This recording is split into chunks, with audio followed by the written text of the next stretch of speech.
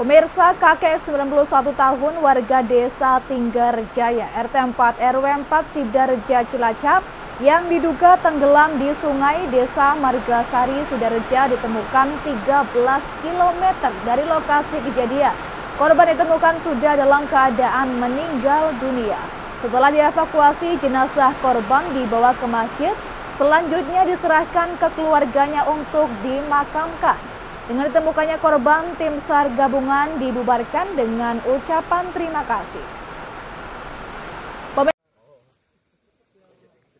Jenazah korban kakek Sopingi 91 tahun ditemukan Sabtu 2 Maret 2024 sekitar pukul 19 lebih 30 waktu Indonesia Barat 13 km ke arah hilir dari lokasi kejadian, tepatnya di Kali Dusun Cibabut, Desa Jatisari, Kecamatan Kedung Reja, Kabupaten Cilacap. Korban ditemukan sudah meninggal dunia tersangkut akar pohon di pinggir sungai. Setelah berhasil dievakuasi, jenazah korban dibawa ke masjid, selanjutnya diserahkan ke keluarganya untuk dimakamkan. Koordinator lapangan SAR Basarnas Cilacap Fajar Wajdi mengatakan sekitar pukul 19 lebih 30 waktu Indonesia Barat mendapat informasi bahwa telah ditemukan jenazah di Kali Dusun Cibabut, Desa Jatisari, Kecamatan Kedung Reja, Kabupaten Cilacap, 13 km dari lokasi kejadian.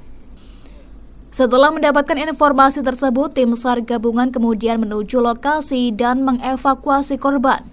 Jenazah sementara dibawa ke masjid selanjutnya sekitar pukul 21.00 waktu Indonesia Barat. Jenazah diserahkan ke keluarganya. Dengan ditemukannya jenazah korban, maka seluruh unsur yang terlibat dibubarkan dengan ucapan terima kasih.